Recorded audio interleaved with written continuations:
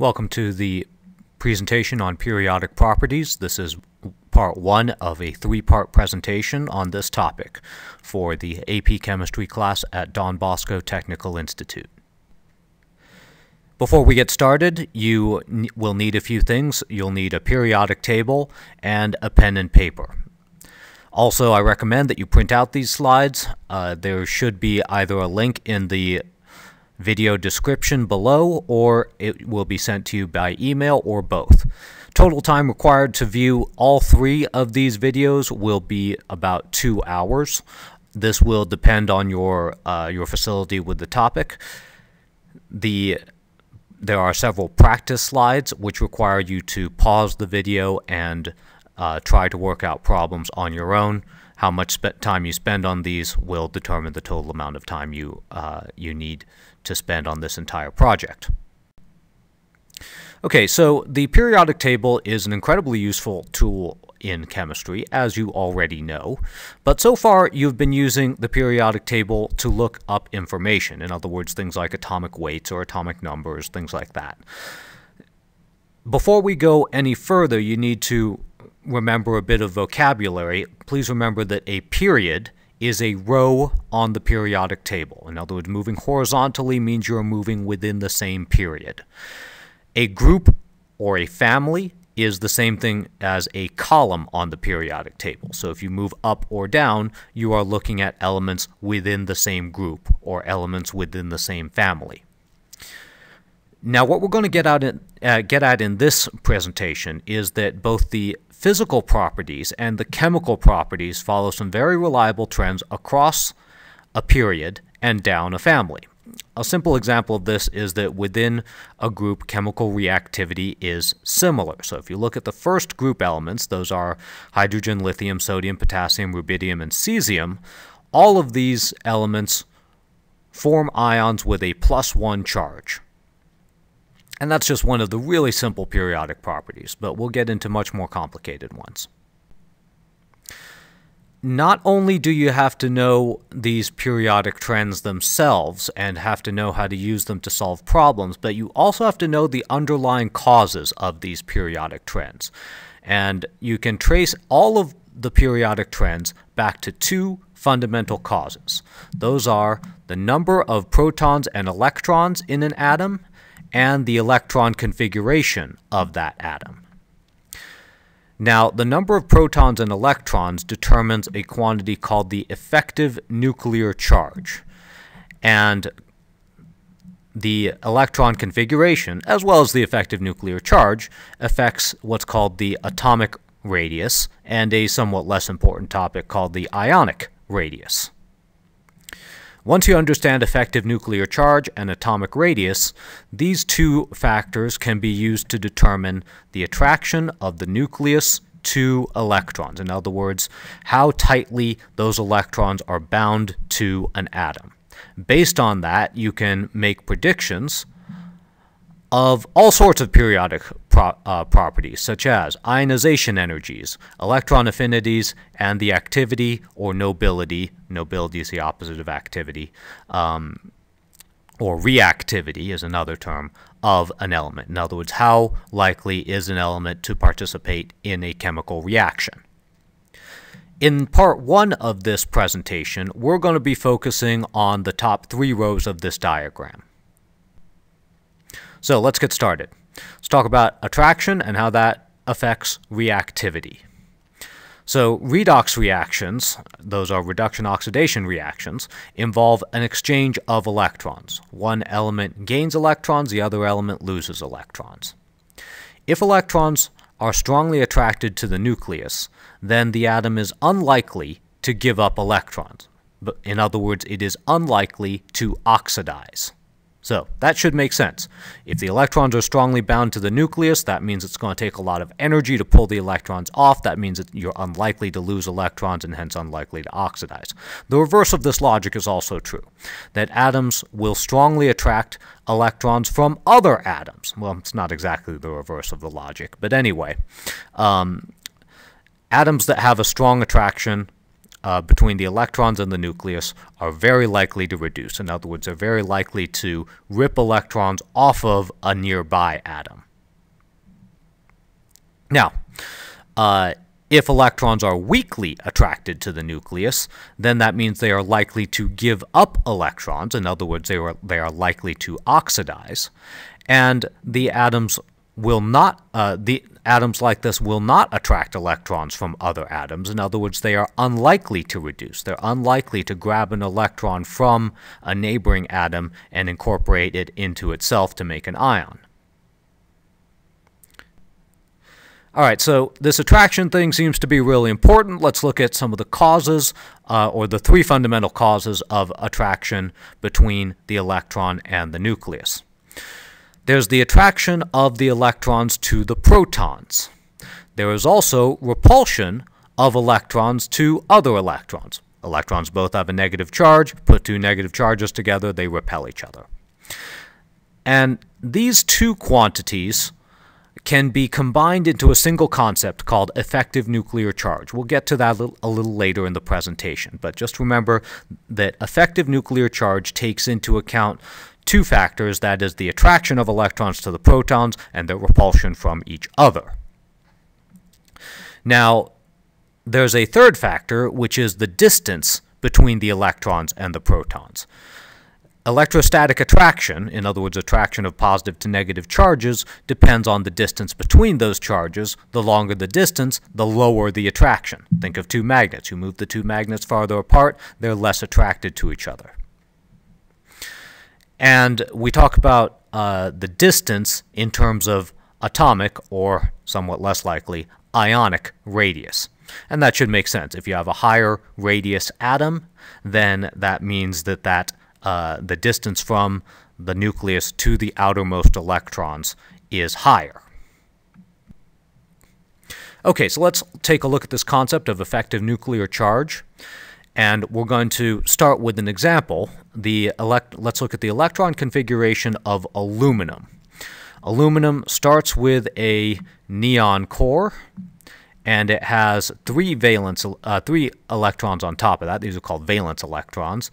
Three in the, sorry, two electrons in the 3s shell, and one electron in the 3p shell. So we got these 13 protons in the middle.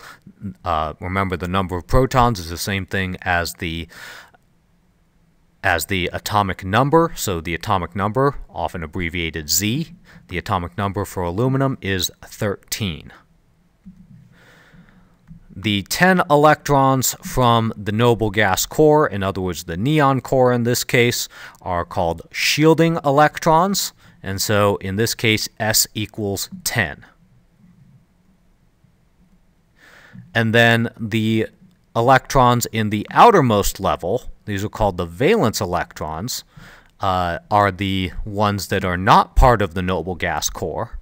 And so there are three electrons that are not part of the noble gas core. That means three valence electrons. Now, remember that only the valence electrons react because they are the farthest one from the nucleus. If you're going to rip an, an, electron off, that means that it's going to you're going to lose it out of the valence electrons. If you're going to add a new electron in, that means you're going to add it to the valence shell. Now, let's again look at the attractive versus repulsive forces in an aluminum atom.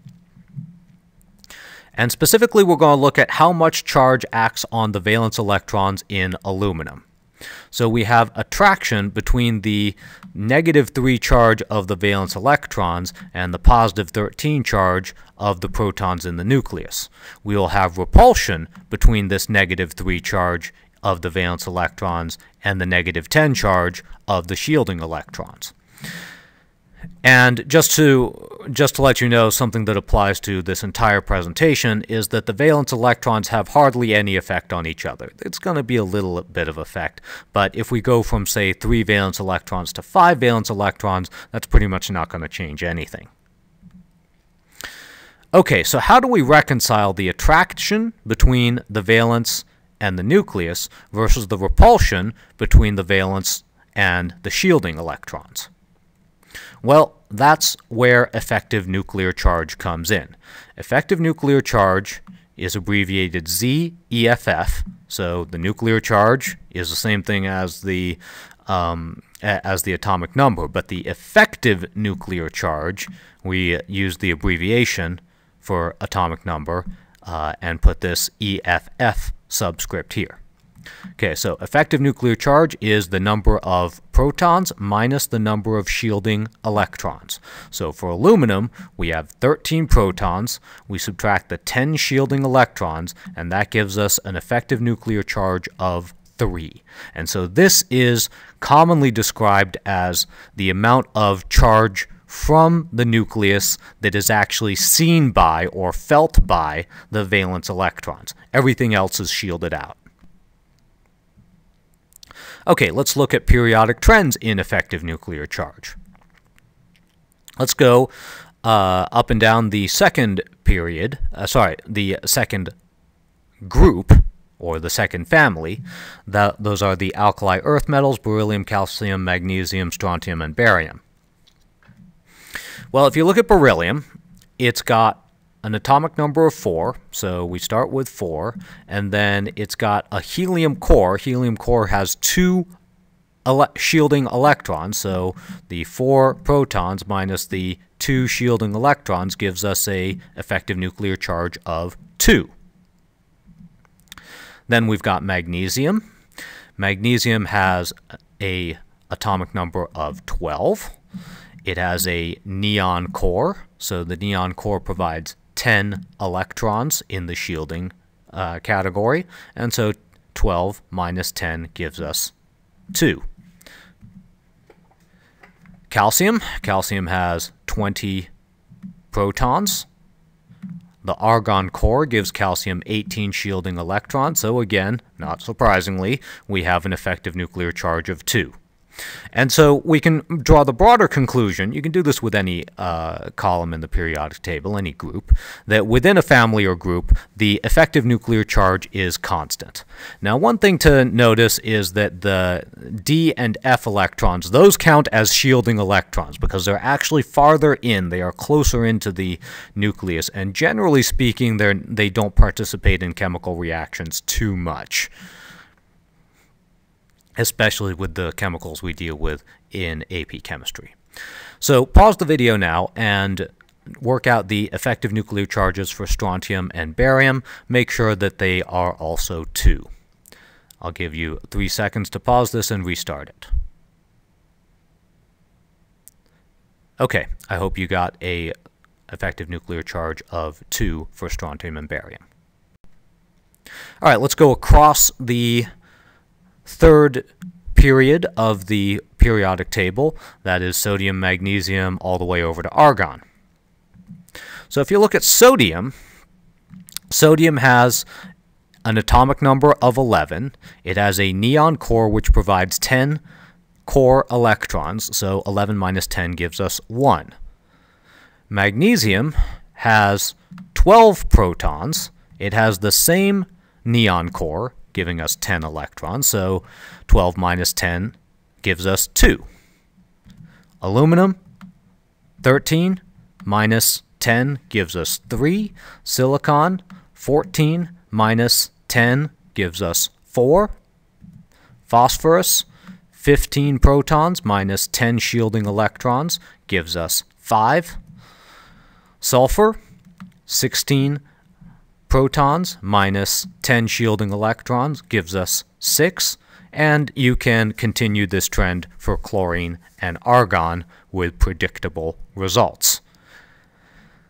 By now, you should have reached the conclusion that the effective nuclear charge increases as you move to the right within a period or row. And remember, effective nuclear charge means stronger attraction between the nucleus and the valence electrons, or stronger attraction of the valence electrons. Go ahead and pause the video now and work out the effective nuclear charge for chlorine and argon. Okay, hope you got the uh, got those effective nuclear charges as 7 and 8 respectively.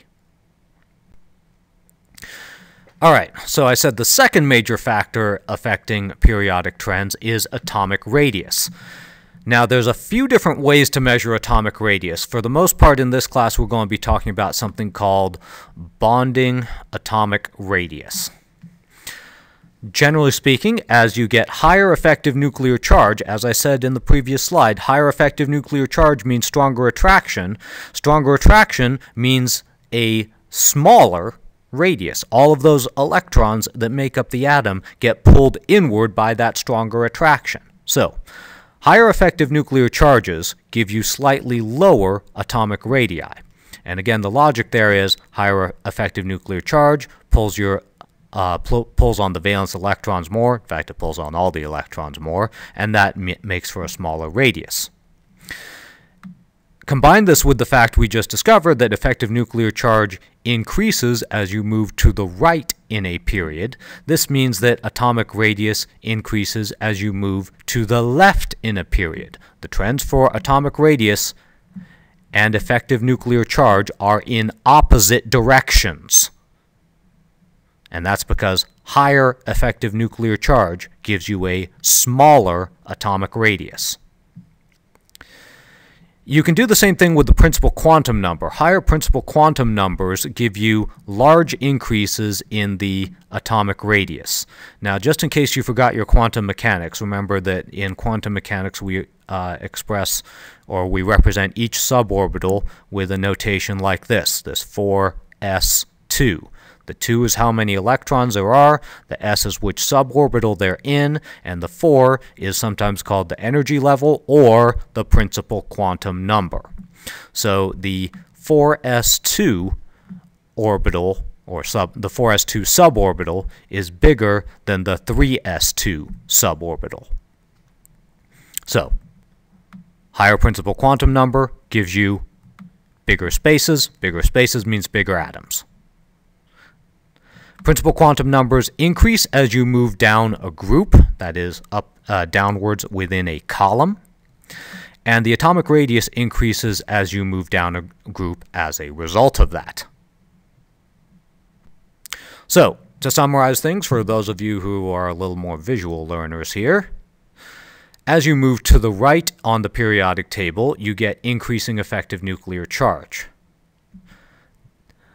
the trend for atomic radius is in the opposite direction. So you get increasing atomic radius as you move to the left on the periodic table. These are small increases in atomic radius. You also get increases in the principal quantum number as you move down a, a group. And it, atomic radius follows the same trend as principal quantum number. So increasing atomic radius, you get large increases in atomic radius as you move down a group. The trend for the, these trends, as you can tell, will collide in the corners in order to give you the uh, cesium, which is the atom with the largest atomic radius, and helium, which is the atom with the smallest atomic radius. Okay, here are some practice problems on the principles you just learned. What is the effective nuclear charge of selenium? What has the higher atomic radius and why? Sodium or magnesium? Carbon or germanium? Finally, rank nitrogen, oxygen, phosphorus, and sulfur in order of atomic radius. Please pause the video now to work these problems out on your own. In five seconds, I'll resume the video and we'll go over solutions.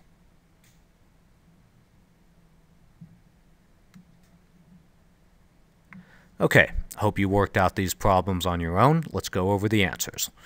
What is the effective nuclear charge of selenium? All right, in order to, to, to do this, you need to remember two facts. Fact number one is that the formula for effective nuclear charge is protons minus shielding electrons. The second fact is that d and f shell electrons count as shielding electrons. So, selenium has an atomic number of 34, so Z is 34 for selenium.